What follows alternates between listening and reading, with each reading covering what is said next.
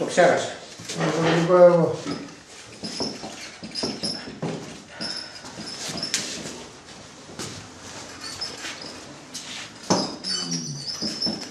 Καλέ. Πάμε καλή. Εγώ καλά είσαι. Ναι, ναι, ναι, σωστά. Καλά καλά. είναι. Ωραία. Εγώ είμαι γενικά είμαι.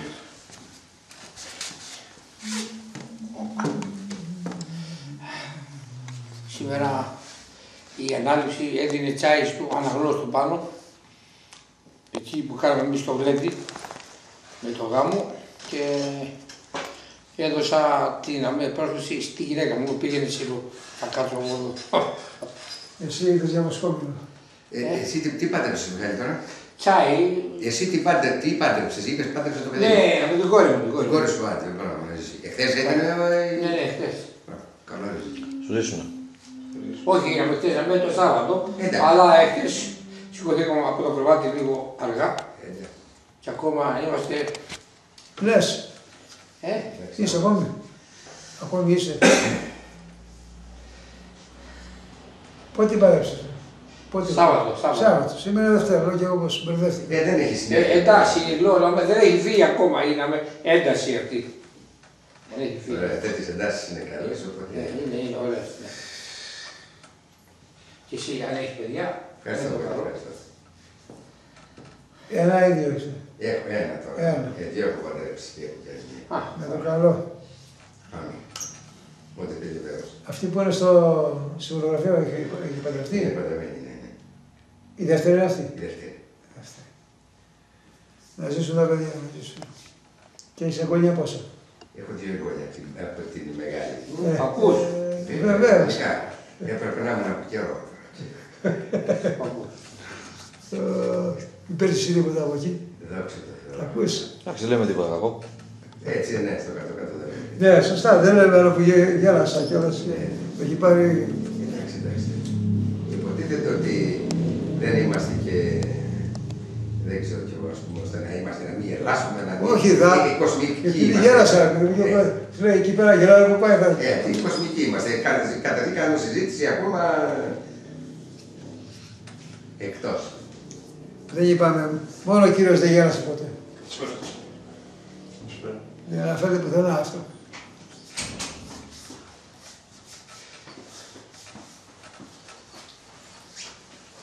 Γιατί είχε τη χαρά την εσωτερική λέει. Αν έχεις εσωτερική χαρά, φαίνεται και έξω. Φαίνεται και έξω και σε εμάς ο Ε, λόγος. Φυσικά, φυσικά δεν είναι ανάγκη να. Βαγγέλη, τι κάνεις; Μακάρι πάντα καλά να είσαι. Θέλω να πιστεύω ότι έχω καλό μαγείρεμα. Σήμερα έχουμε, Πρωτοφανές. έχουμε να πιάσει τόπο. Πάντα είναι καλά τα μαγειρία. Πάντα. Ανάλογα της διάθεση που υπάρχει για φαγητό, δηλαδή ή Έχει για, τόπο σε εμάς. ή για άκουσμα. Ε, φυσικά. Γυρίσα από εκεί το, γυρίσα από εκεί το.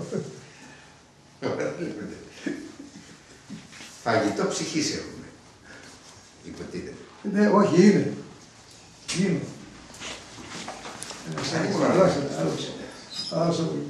Το είδες. Ο δράστης. Καλησπέρα. Άλλο. Φτάσεις. Ε, έτσι, έτσι. Καλώς ήρθας, να ζήσουμε.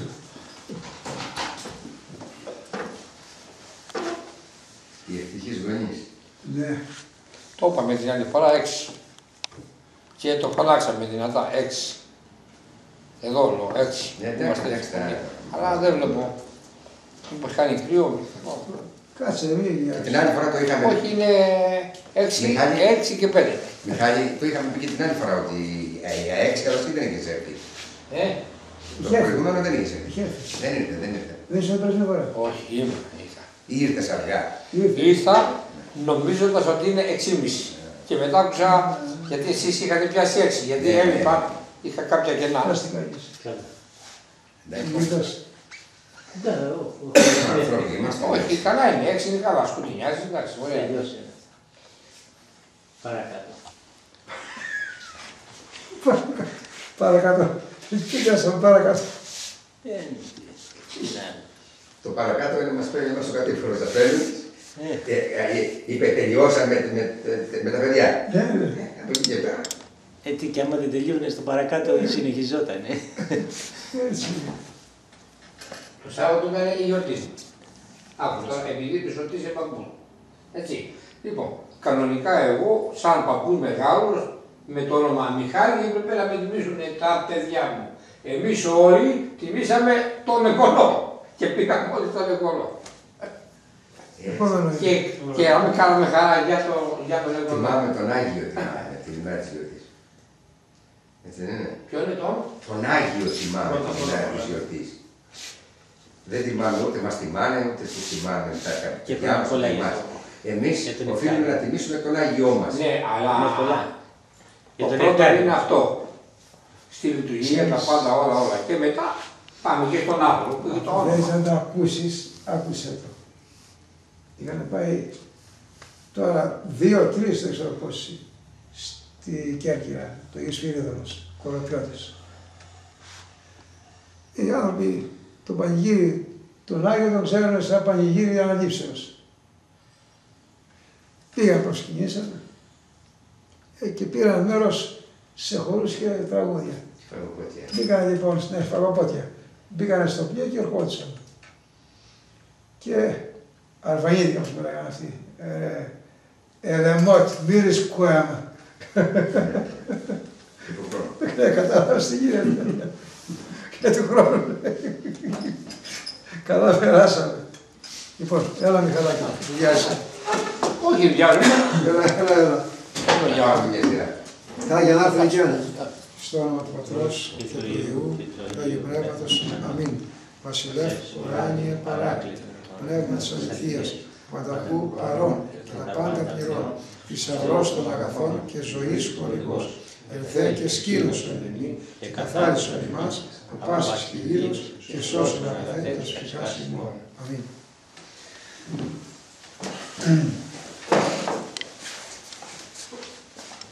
Το σημερινό θέμα είναι καθαρά αγιογραφικό και σχετικό με την κλίση ή την πρόσκληση, να το πω έτσι, στο αξίωμα του προφήτου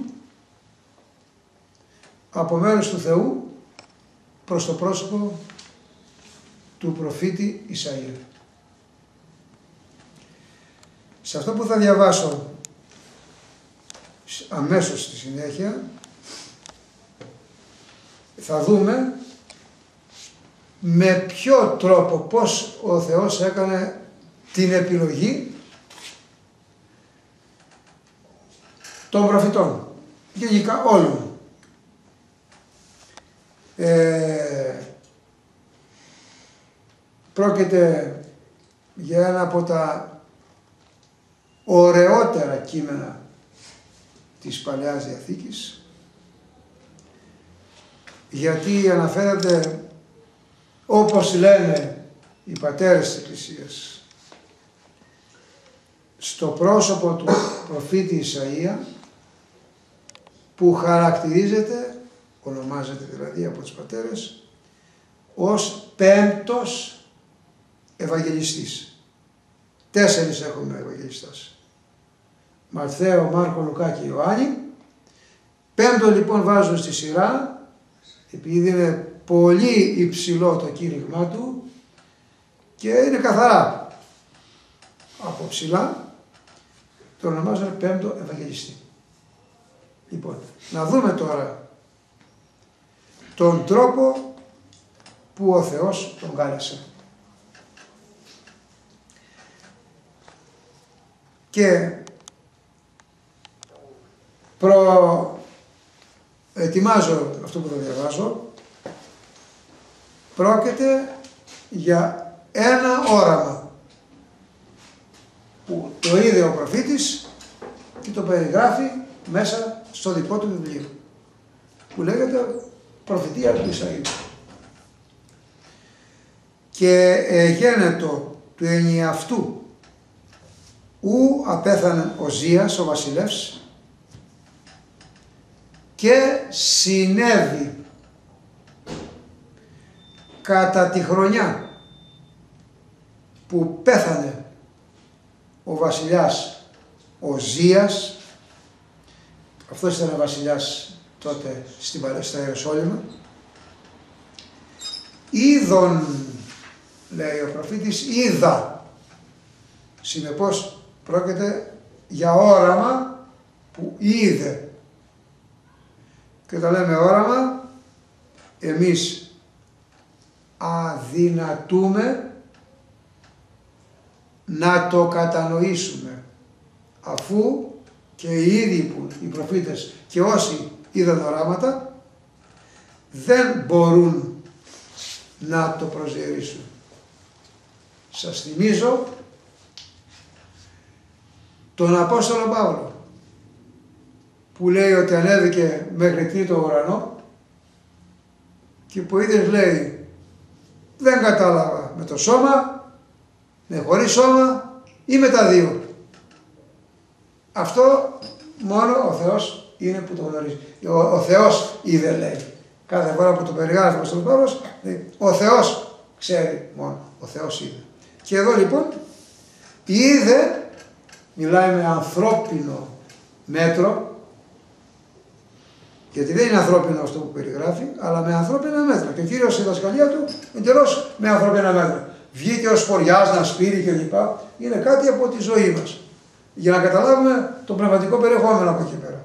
Εδώ λοιπόν είδα την εποχή του βασιλιά λοιπόν ο Ζία, τον Κύριον, όταν λέει Κύριο, εννοεί το Θεό, το τριπρόσωπο Θεό καθήμενον επιθρόνου υψηλού και επιρμένου να κάθεται σε θρόνο ψηλό και ανυψωμένο πολύ και πλήρης ο οίκος της δόξης αυτού. Και είδα να είναι ο οίκος στο σπίτι του Θεού. Και εδώ σπίτι του Θεού είναι όλος ο ουρανός λέει Κύριε είναι θρόνος σου. Ο Δαβίδ.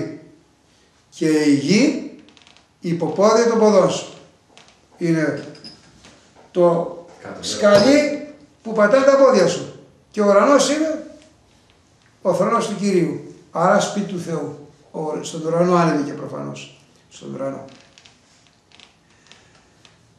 Και σεραφείμ σαν κύκλο αυτού και γύρω από το θρόνο του στέκονταν σεραφείμ. Επομένως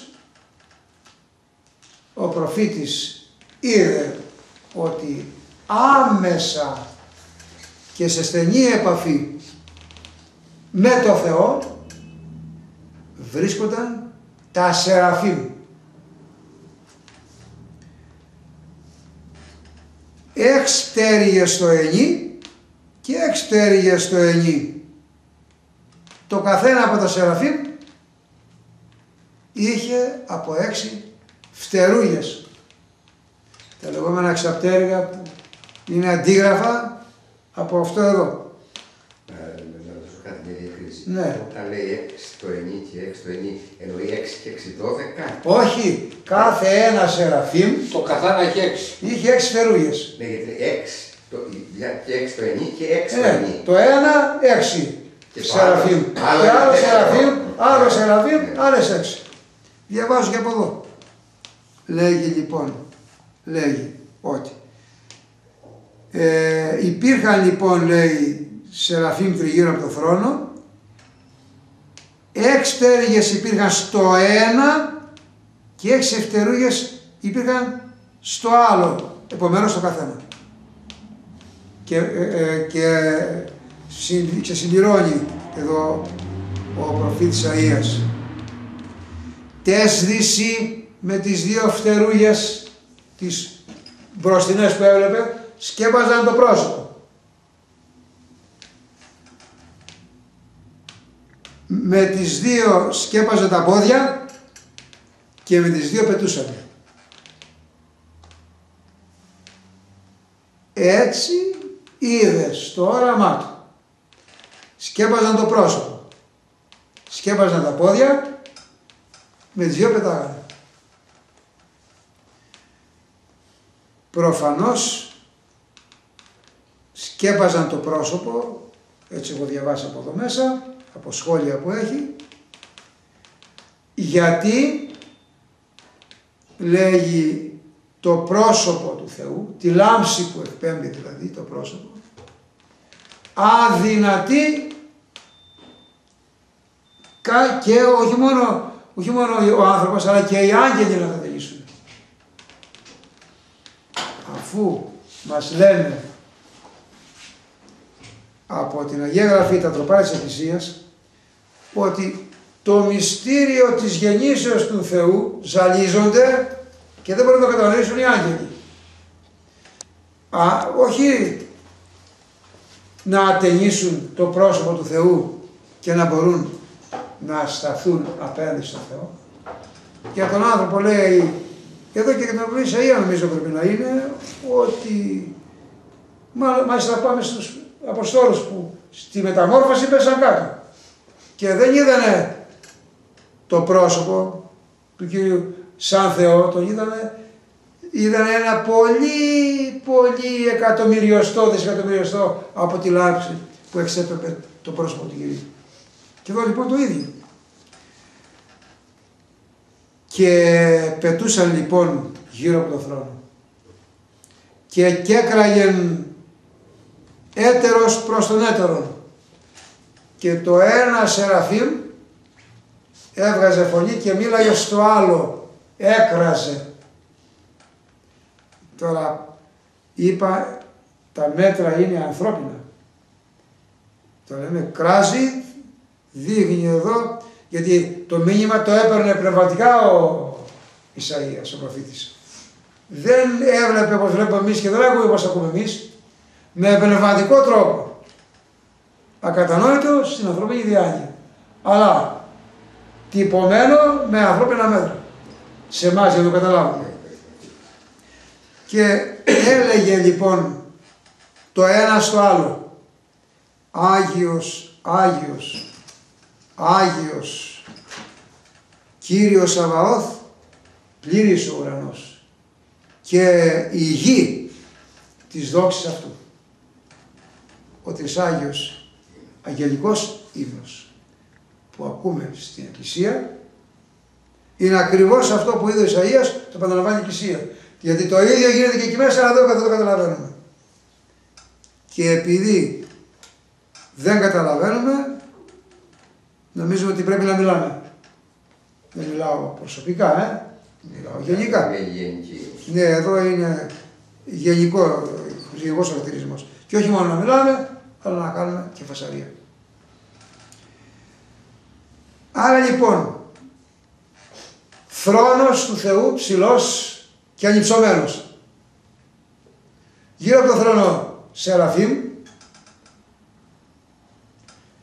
και τα Σεραφείμ ήταν με έξι πτερούγια στο κάθε ένα δεν, δεν τολμούσαν να αντικρίσουν τον Θεό αλλά είχαν καλυμμένο το πρόσωπο. Αυτός είναι ο λόγος που είχαν καλυμμένο το πρόσωπο. Γιατί το πρόσωπο του Θεού ή η θεότητα ήταν και είναι ήλιος που δεν μπορεί κανείς να το ατενίσει, δεν ατενίσουμε το δημιούργημα, το ήλιο του εδώ πέρα που είναι μπροστά μας. Ατενίσουμε το δημιουργό του ηλίου. Και τα Σεραφείμ λοιπόν έψαλαν τον αγγελικό ύμνο Άγιος Άγιος Κύριος Σαβαώθ. Παντοδύναμος είναι η Σαβαώθ. Παντοδύναμος. Λοιπόν, όταν λοιπόν, α, συγγνώμη, και ο οίκος και ο οίκος του Θεού, δηλαδή ο ουρανός, με άλλα λόγια,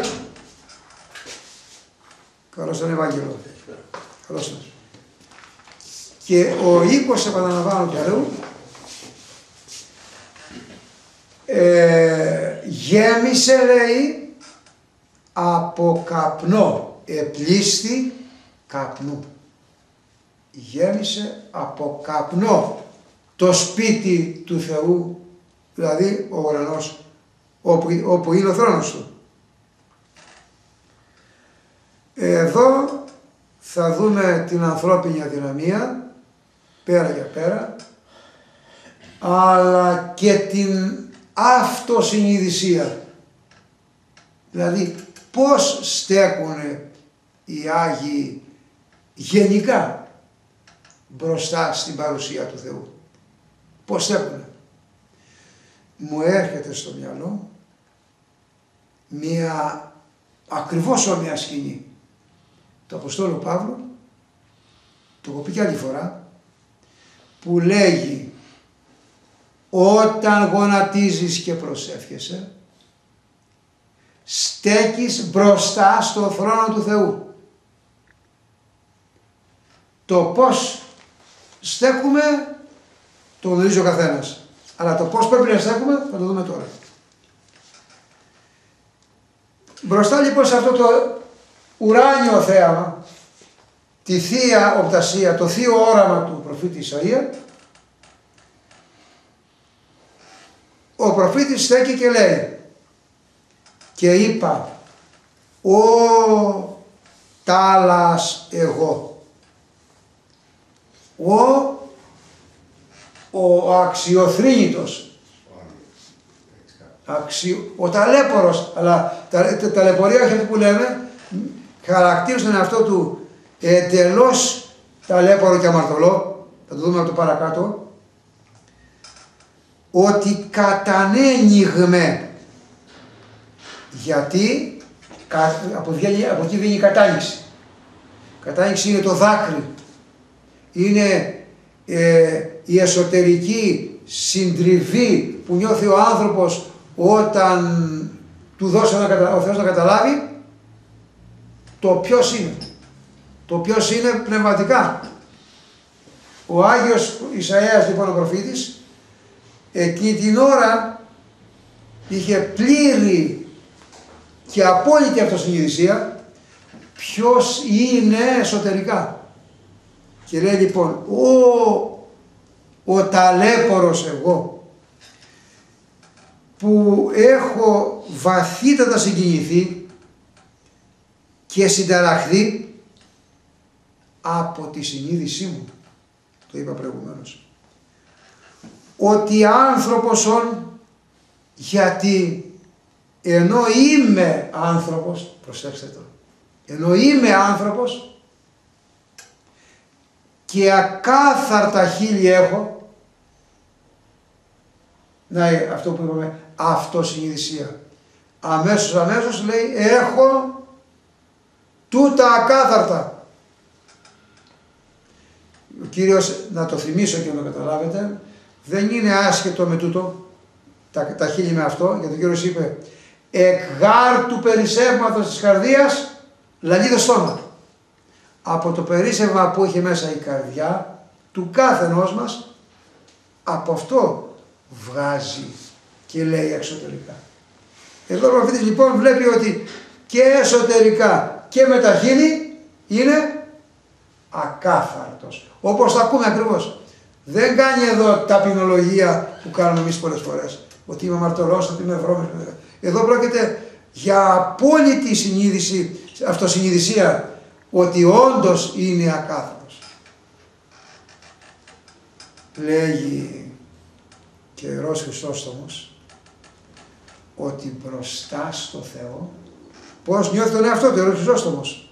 Ένα, μια άλλη εικόνα όμοια σαν το Οδυσσαία. Λέει ότι έβλεπε ο Ιερός Χριστόστομος τον εαυτό του μπροστά στο Θεό που είναι ολοκάθαρος, σαν ράκος, σαν κουρέλι αποκαθημένης, αποκαθημένης, σαν κουρέλι γυναικός πόργης που σκουπίζει τα γεννητικά σώργανα. Το πιάνετε; Το αντιλαμβάνεστε πως το, τοποθεί τον εαυτό του. Φοβερό, είναι φοβερό αυτό. Ε. Είναι πολύ φοβερό. Να πει αυτός είμαι εγώ εσωτερικά σαν κουρέλι γυναίκα, γυναίκα Ε, και εδώ το ίδιο, η ίδια ακριβώς είναι η περίπτωση. Γιατί είμαι άνθρωπος λέει και έχω ακάθαρτα χείλη και το άλλο εν μέσω λαού ακάθαρτα χείλη έχοντος και ζω καλώς τον Ιωσήφ και ζω μέσα σε ένα λαό καλώς τον που και αυτός ο λαός και αυτός ο λαός έχει ακάθαρτα χείλη ε, να το καλοπροσέξουμε. Δεν ξεχώρισε τον εαυτό του. Δεν είπε ότι ο λαός είναι έτσι και εγώ είμαι αλλιώς. Αλλά λαός με ακάθαρτα χείλη και εγώ με ακάθαρτα χείλη. Ακάθαρτη συνείδησε ο λαός, ακάθαρτη συνείδησε εγώ και εγώ. Και τώρα εγώ ο ακάθαρτος να στέκω μπροστά στο θρόνο του Θεού, να βλέπω τα Σεραφείμ να έρχονται γύρω γύρω από το θρόνο του. Ποιος είμαι εγώ, αυτό είναι το επόμενο ερώτημα. Ποιος είμαι εγώ;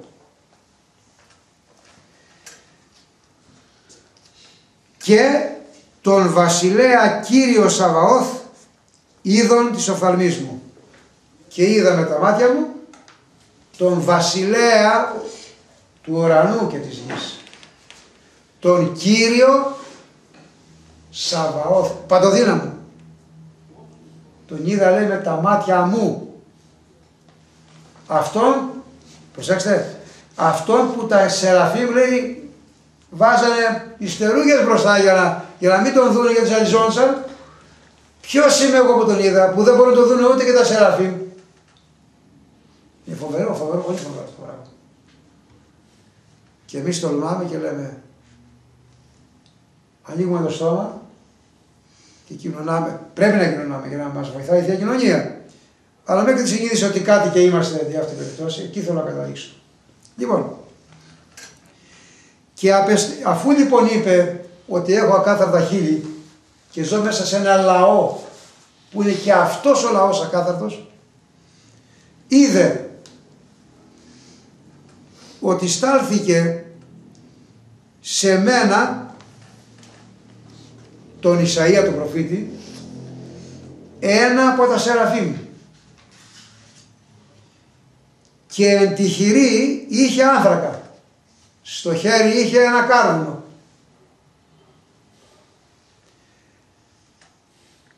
Εν λαβίδι έλαβε. Δεν το είχε πιάσει το κάρβουνο με το χέρι είχε ένα, τσιπι, ένα, ένα τσιπιδάκι. Τσιπιδάκι. Και το είχε πιάσει το, με το τσιπιδάκι το κάρβουνο. Δεν προχωρά πάνω πέρα για να σας δω και να πω. Γι' αυτό λέγεται λαβίδα και το κουταλάκι μας να πάσα. Το πια, δεν πάμε κατευθείαν να το πάρουμε, αλλά μας το δίνει σαν τα σεραφείμ ο παπάς και μας βάζει στο στόμα τη Θεία Ευχαριστία. Λοιπόν, και το πήρε λέει το κάρβουνο με τη λαβίδα από το θυσιαστήριο. Πώς έχουμε την Αγία Τράπεζα εμείς και ονομάζεται θυσιαστήριο; Το θυσιαστήριο παίρνει και ο παπάς. Τη Θεία Ευχαριστία. Τον άνθρακα. Άνθρακας είναι και αυτός. Που και της αμαρτίας. Και της αμαρτίας. Λοιπόν, το πήρε λέει το κάρβουνο με τη λαβίδα του θυσιαστήριο, το Σεραφείμ, ένα από τα Σεραφείμ, ένα, ένας αρχάγγελος και τι το έκανε; Και ύψα το χιλέο μου και μου ακούμπησε στα χείλη. Τι είπε προηγουμένω. Εγώ που έχω ακάθαρτα χείλη. Ήρθε λοιπόν και μου το βάλε εδώ. Στα χείλη και είπε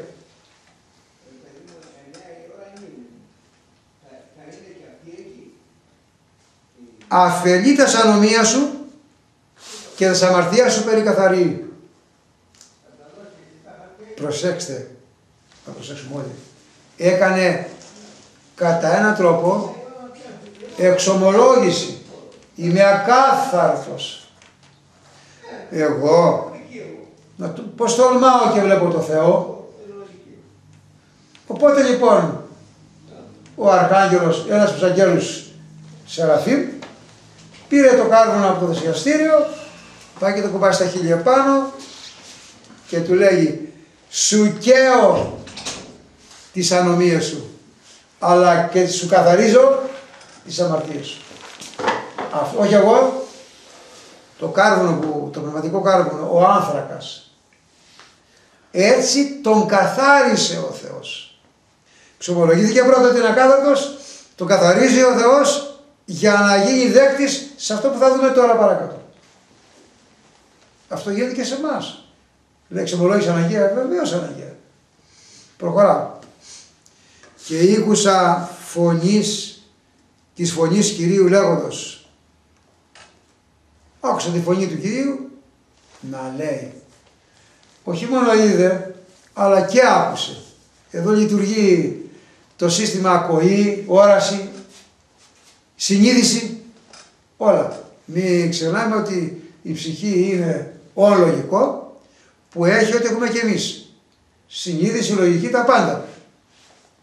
Και ο, ο Ισαΐας είδε, άκουσε και συνείδηση. Και τι άκουσε; Τι να αποστείλω και τι σπορεύσετε προς το λαό μου τούτο; Ποιον να στείλω για να πάει στο λαό αυτό;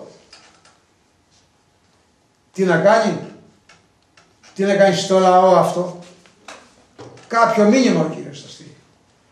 Θα το δούμε τι θα στείλει ο Κύριος. Ε, τον καθαρίζει, τον κάνει άξιο και στη συνέχεια ακούει. Θέλω κάποιον να στείλω. Να κηρύξει το λαό. Και είπα, Ιδού εγώ είμαι, απόστηλός με. Να, εγώ είμαι εδώ, στείλε με. Δεν πιάνεται, δεν, το μυαλό μας δεν μπορεί να κατανοήσει αυτό το πράγμα. Είναι ε, από τις ανεπανάληπτες στιγμές που αναφέρει η Γραφή για καλεσμένους από τον Θεό και απεσταλμένος από τον Θεό προς τον κόσμο για να μεταφέρουν μηνύματα δικά του. Το Ευαγγελιό του παραλόγια. Το Ευαγγελιό του. Και μου είπε, αφού είπα Κύριε εγώ θα πάω. Δεν μπορούσε. Ε, νομίζω αν όχι εδώ ο προφήτης Μωυσής, Μωυσής που τον κάλεσε είπε την περίφημη, την περίφημη, τα περίφημα εκείνα δύο λόγια. Λάλη Κύριε, μίλησε Κύριε και ο δούλος σου ακούει. Με την, με την έννοια ακούει και υπακούει. Στην Αγία Γραφή η λέξη ακούω σημαίνει ακούω μεν, υπακούω δε. Και τα δύο είναι μαζί. Και εδώ λοιπόν το ίδιο πήγαινε και πες στο λαό του Ισραήλ. Ακοή ακούσετε και ομοί συνείτε.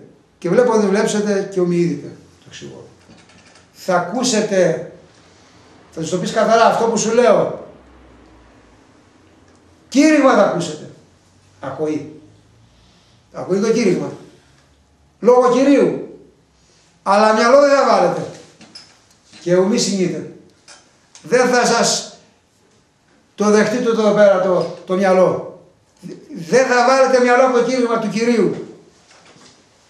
Και θα δείτε και σημεία και θαύματα δηλαδή, αλλά θα είστε τυφλοί. Δεν τα καταλαβαίνετε. Προσέχετε. Και θα ακούσουν και θα δούνε. Ακριβώς τον ίδιο λόγο. Ακριβώς τον ίδιο λόγο επανάλαβε και ο Κύριος. Και κήρυξε και θαύματα έκανε. Και είπε ακριβώς αυτό. Ε, για θυμίστε, θυμηθείτε που το είπε. στην παραβολή τους σπορέως. Κύριε γιατί μιλάς παραβολικά; Και δεν λες καθαρά να τα καταλάβουν οι άνθρωποι γιατί εδώ μέσα τους είπε που το ακροατήριο από το ακροατήριο υπάρχουν άνθρωποι που είναι διατεθειμένοι να μην δεχθούν το Λόγο του Θεού άμα δεν δέχεσαι κάτι ούτε και το καταλαβαίνεις ποτέ. Αλλά και όταν ακούς, όταν βλέπεις με τα μάτια σου θαύματα, πάλι θα τα απορρίψεις. Και στο κήρυγμα δεν δεχτήκανε, αλλά και τα θαύματα, εμείς μιλάμε τώρα για τα σημαντικότερα θαύματα. Εν το άρχοντι των δαιμονίων εκβάλλει τα δαιμόνια. Και αναγκάστηκε ο Κύριος να πει, ο λαός αυτός αυτιά έχει και δεν ακούει, μάτια έχει και δεν βλέπει. Επομένως και ο Ισαΐας βρέθηκε στην ίδια περίπτωση. Τον στέλνει να κηρύξει, να ακούσει ο λαός, να χτυπήσει το καμπανάκι κατά έναν τρόπο, να μην δώσουν καμιά σημασία. Τώρα, τα από εκεί και πέρα, αν προλάβουμε κάτω θα προλάβουμε να το συνεχίσουμε. Λέγει λοιπόν, πήγαινε λοιπόν και πες τους. Αυτά που ακούς. Και όχι μόνο αυτό, λέει στη συνέχεια, που μας αφορά, μας αφορά. Γιατί δεν βλέπουμε να καρποφορεί ο Λόγος του Θεού. Πες τους, επαχύνθη γάρ η καρδία του λαού του. Έπιασε ξύγκι, έγινε παχιά η καρδιά του λαού. Και τα αυτιά τους βάριναν λέει και τη σωσήν αυτών βαρέως ήκουσαν και με τα αυτιά τους βαριά βαριά άκουσαν εκείνα ή θα ακούσουν εκείνα που εσύ θα πεις.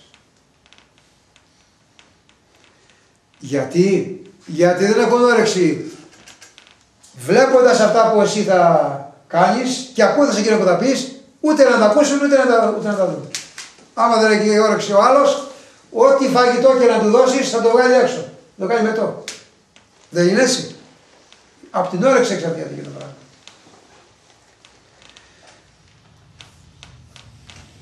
Και είπα, αυτά είναι τα λόγια του Θεού. Πήγα να πίσω ότι και μάτια έχουν και αυτιά έχουν. Και δεν πρόκειται ούτε να δούνε ούτε να ακούσουν.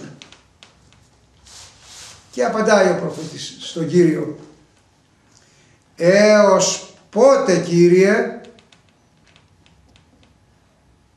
δηλαδή μέχρι πότε Κύριε; Αυτή η πόρωση θα διαρκέσει.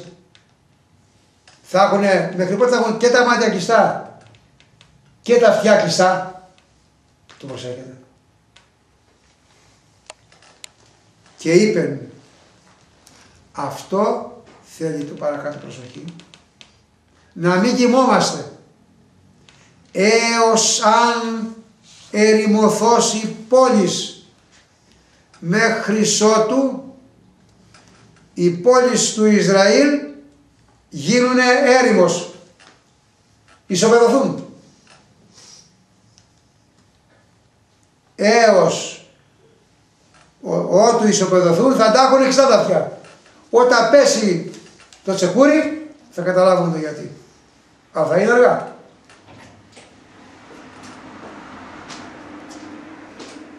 Και όχι μόνο θα ερημωθούν, αλλά παρά το μη κατοικήστε και δεν θα κατοικούνται οι πόλεις.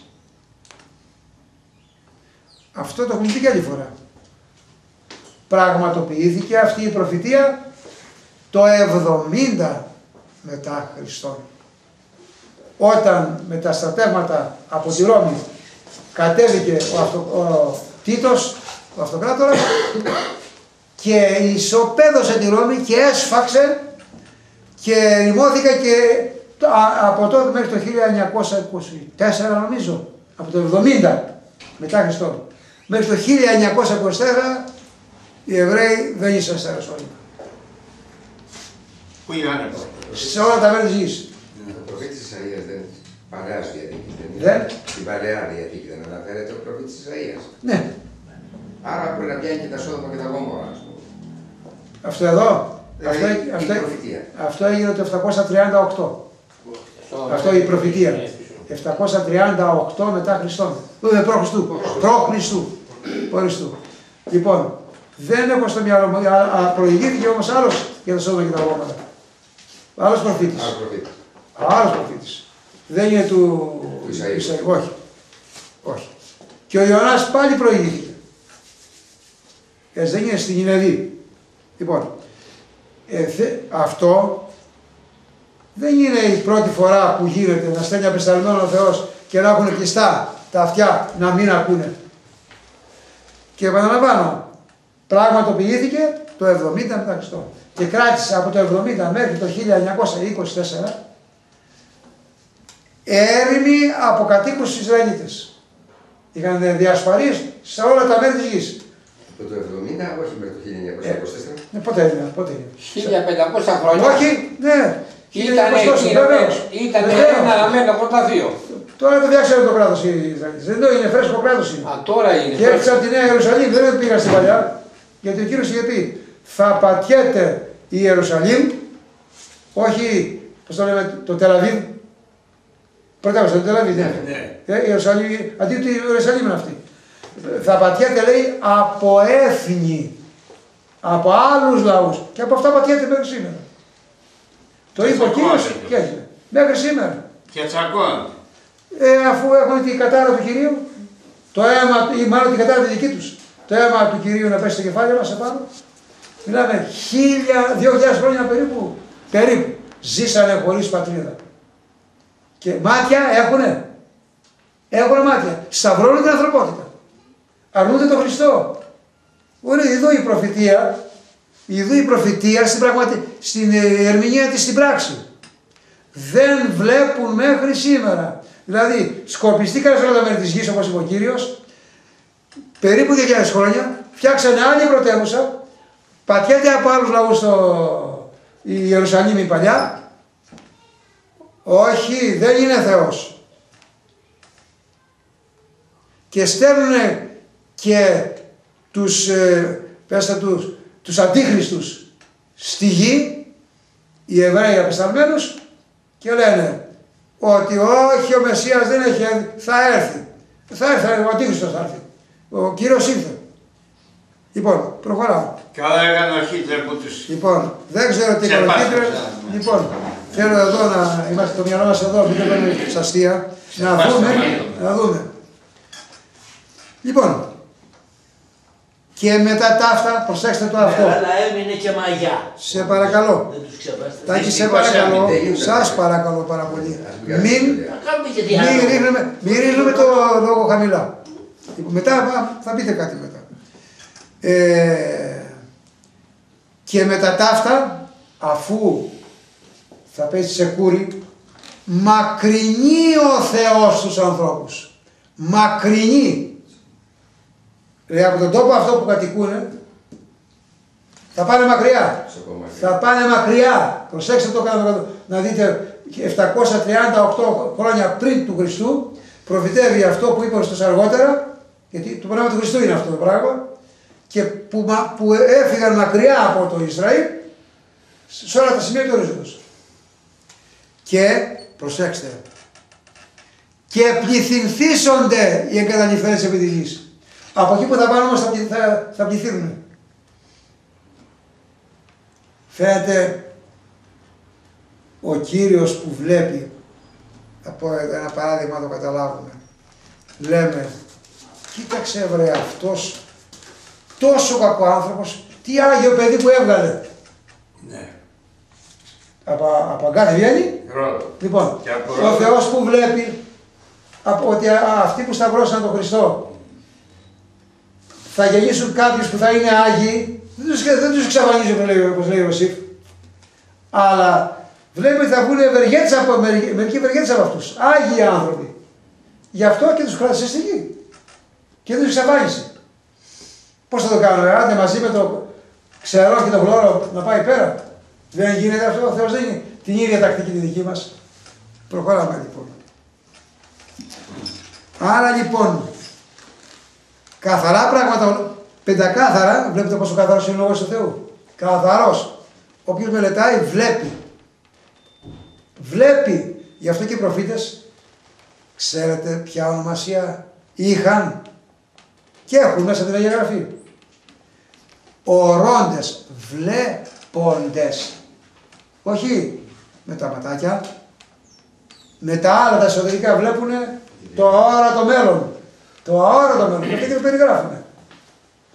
738 χρόνια πριν λέει τότε μετά από χίλια χρόνια περίπου, πέρασαν και 70 μετά, περίπου χίλια χρόνια, ναι, θα γίνει αυτό, θα, θα φάνε κλωτσάρ τα Ιεροσόλυμα και θα πάνε σε όλα τα μέρη της γης. Αυτή είναι η αλήθεια βλέποντας. Θα πείτε, ε, γιατί διαβάζουμε τον προφήτη Ισαΐα; Για προσανατολισμό. Και θα πάω και καπαλού στη συνέχεια. Για, προ, για προσανατολισμό. Δηλαδή, ε, κάει και το σπίτι του γείτονα. Πρόσεξε να μην κάει και το δικό σου. Δηλαδή, αποστάτησαν αυτοί από το Θεό. Τι τους βρήκε, συμφορά.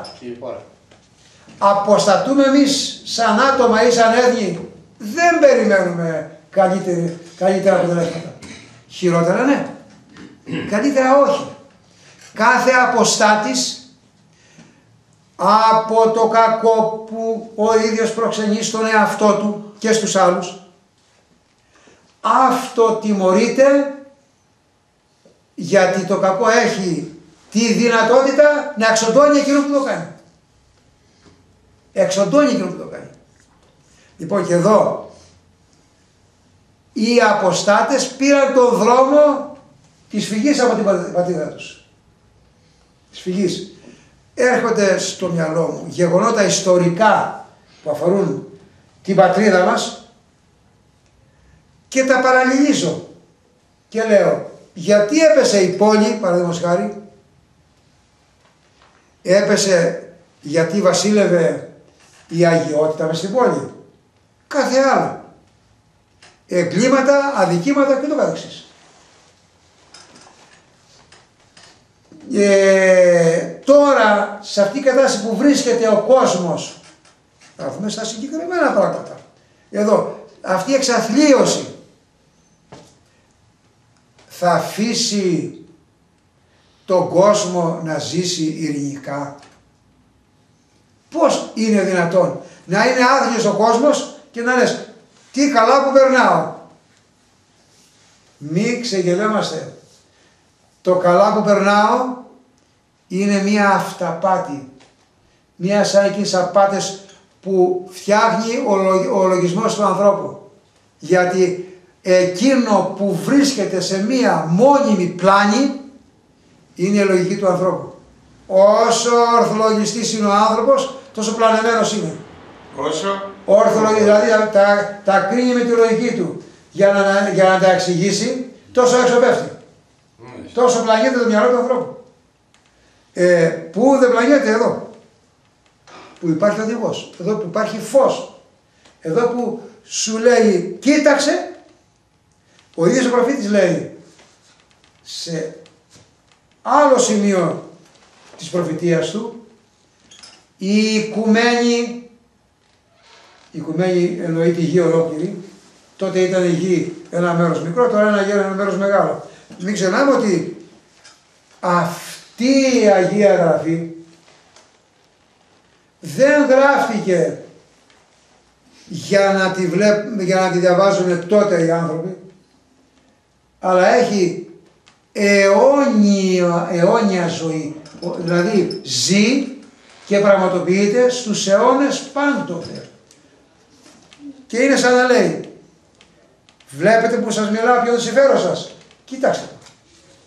Και ανόλογα πράξτε. Και ανόλογα πράξτε. Λοιπόν, η προφητεία γράφει για την πείνα που έχουμε τώρα. Ε, αυτό το σύνορα τι λέω εδώ πέρα. Το σύνορα τι λέω; Δεν το γράφει. Αυτό, αυτό που βλέπεις. Να το πούμε μετά. Ε, Μετά θα Τι ανοίξει εννοείς, η Όλοι πείνα. φωνάζουμε ότι πεινάει ο λαός. Έτσι δεν Λοιπόν, φωνάζουμε. Έτσι. την πείνα α, α, ζούμε σε αποστασία. Δεν ζούμε μέσα στην αμαρτία και δεν το καταλαβαίνουμε. Ναι. Ε, είναι αποτέλεσμα αυτό το πράγμα. είναι. Δηλαδή, όταν υπάρχει σαπίλα ηθική, που η σαπίλα αυτή πιάνει από τη κούνια το μικρό παιδί μέχρι το γέρο που είναι 100 χρονών και μάλιστα σε όλο το φάσμα της, ε, δηλαδή σε, σε, σε όλη τη δυνατότητα που έχει το κακό, τι περιμένεις, να, μο- να μην μόνο πυρανάκης, δεν περιμένεις κάτι άλλο; Κάποιοι λέγανε, κάποιοι λέγανε, παππούδες μας, μπορεί να σε ακούσει και εσύ και οι άλλοι. Κάθε 60 χρόνια λέει γίνεται και ένας πόλεμος. Το έχεις ακούσει Ιωσήφ; Λοιπόν, σαν πολλά να έχουν περάσει, μακάρι να μην είμαστε προφήτες, μάντης κακό να λέει γραφή, λέει ότι τιμωρείται το, κα- ε, η αποστασία, τιμωρείται. Δεν είναι μόνο ο πόλεμος τώρα στην προκειμένη περίπτωση. Εδώ έχουμε ε, φυσικές καταστροφές. Όλα. Μα παρουσιάζουμε και τις βλέπουμε τώρα. Δεν είναι ανάγκη να γίνει ένας πόλεμος. Όταν, υπάρξει, όταν υπάρχει αυτή η αλλαγή ε, ε, της, ε, των καιρικών συνθηκών, του κλίματο. Που δεν θα έχουμε νερό, δεν θα έχουμε να φάμε ή θα έχουμε το, το χόρτο και δεν θα μπορούμε να το φάμε. Αυτό δεν είναι μια καταστροφή. Δεν είναι ανάγκη να γίνει πόλεμος. Το ένα φέρνει το άλλο. Σήμερα διάβαζα την, ε, και χτες την Αποκάλυψη. Μου θυμίζεις, εκεί λέει στέλνει έναν άγγελο, ο Κύριος, και του λέει ρίξε τη φιάλη αυτή να δηλητηριάσεις, εικόνα είναι αυτή και είναι πραγματικότητα σήμερα, το 1 τρίτο της ξηράς. Το 1 τρίτο του αέρος, το 1 τρίτο της θάλασσας και των ποταμών. Δεν είναι αυτά δηλητηριασμένα, τι είναι τώρα, είναι. Και όχι μόνο αυτό, αυτά που είναι η γη τα δηλητηριάζουν μόνοι μας, γιατί χάρη του τούτου. Ανοίξτε το 15ο κεφάλαιο της Αποκαλύψεως, να δείτε εκεί που μιλάει για το εμπόριο, που το χρήμα θα χρηστευτεί. Τι θα κάνει. Θα χρηστευτεί. Δεν θα μπορείς να αγοράσεις. Και δεν θα περνάει. Ναι, δεν περνάει. Θα έχεις γύρα στο χέρι και θα λες, γιατί δεν περνάει. θα πηγαίνεις και θα στέλνει πίσω. Ναι, Αλλά εγώ Αυτό τι. το λιγότερο. Έχουμε κι άλλα. Ανοίξτε το διαβάστε εκεί πέρα, δείτε, γιατί μιλάμε προσανατολιζόμαστε, ο άλλος δεν βλέπει και σου λέει καλά περνάω, ρούχα αγοράζω, τροφές έχω, γεμίζω το σούπερ μάρκετ το αυτό. Λοιπόν, ε, αυτή είναι η- το τέλος του διαβόλου, να λέει καλό περνάω και να μην βλέπει τι τον περιμένει, όπως είπες προηγουμένως. Προχωράω το. Μάλλον για να δω, πέστε εσείς κάτι, την άλλη δόση, έχω το, τα υπόλοιπα. Πέστε κάτι, εγώ έχω Τώρα κάνει που το. πούμε Παναγιώτη για το νερό. Το νερό το πόσιμο λίγο στέλνει. Τι θα όλα δεν λιγοστεύει. Άμα λίγο στέλνει το νερό, Με αυτό μας αφορά.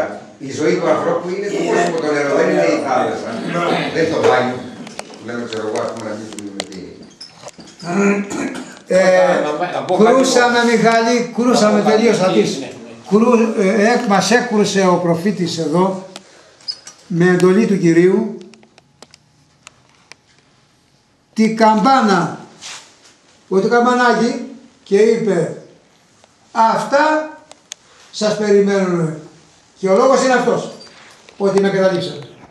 Το Θεό δηλαδή με καταλήψατε. Πες κάτι.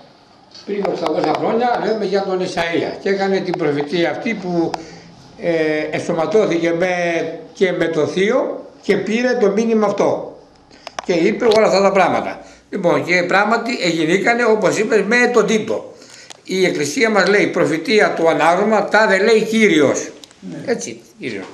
Και λέω εγώ τώρα Κώστα, εδώ τώρα επειδή ξεφύγαμε από τον τίτλο και ήρθαμε και στις δικές μας μέρες.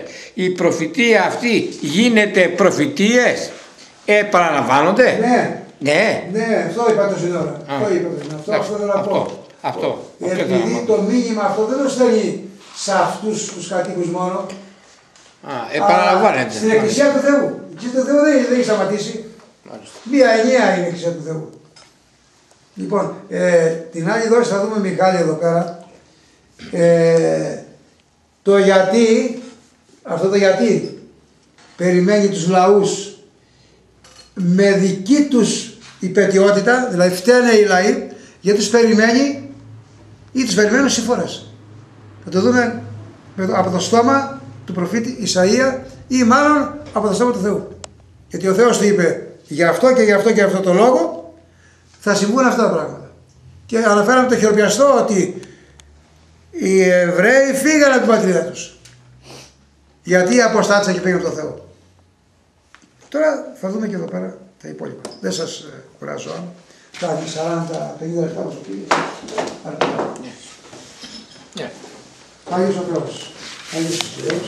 Άγιος ο Θεός. Ελέησος. Άγιος ο Θεός. Άγιος ο Θεός. Άγιος ο Θεός. Ελέησος μας. Άγιος ο Θεός. Άγιος ο Θεός. Ελέησος μας. Πάτερ ημών που εις τους ουρανείς, αγιαστείτε το όνομά σου, ελθέτω η βασιλείας σου, γεννηθεί το θέλημά σου, όσο εν ουρανό και της γης, τον άκρη ημών των επιούσεων, δώσει ημίν σήμερα, και άφηση ημίν τα οφειλήματα ημών, ως και ημίς αφίρεν τις οφειλέτες ημών, και μη εις ενέγεις ημάς φυλασμών, αλλά λύσει ημάς από το Θεό. Διευκόν των Αγίων Πατέρων ημών, Κύριε Ιησού Χριστέ ο Θεός, ελέησον και σώσον ημάς. Αμήν. Δόξα τω Θεώ. Ωραία, έξι, έξι, έξι. Έξι. Τι έγινε Βαγγέλη; Δεν νόμιζα ότι αρχίσατε 7 σήμερα και γι' αυτό ήρθατε. Καλή σας νύχτα. Ε, Ευχαριστούμε πολύ για την παρέα. Γιατί το είπα αυτό. Γιατί λένε πολλοί και μας παραστούν και εμάς. Α, αυτό έγινε τότε. Πέρασε ρε παιδιά. αυτό πέρασε. Άρα και δεν περνάει τίποτα. Επαναλαμβάνω. Η εξή έξι τι λέει; Πρόσεξε, πρόσεξε με βάση Γι' αυτό έφερα αυτό το ρόλο. Άκουσε. Θα έρθουν τα Χριστούγεννα και θα πει σήμερα ο Χριστός για να το δοξάσω. Σήμερα όμως, σήμερα. Το χρόνο είναι το... είναι το... Να είναι και το Αγία, το Νομπέλα. Λοιπόν, Θα υπάρχουν. λέει... Κάτσε ρε παιδί μου χαρτιά του μου. Μετά από ένα χρόνο πάει θα πει σήμερα η Εκκλησία για το ίδιο γεγονός. Που σημαίνει ότι δεν υπάρχει αύριο για την Εκκλησία. Και για την Αγία δεν υπάρχει αύριο, σήμερα υπάρχει. Αυτό ήταν σήμερα. Που και τώρα είναι σήμερα. Σήμερα. Και τώρα είναι σήμερα. Ναι, το χτες πριν από 3.000 χρόνια είναι σήμερα. Εμείς βάζουμε τις αποστάσεις. Ναι. Για το Θεό είναι σήμερα. Ναι, σήμερα.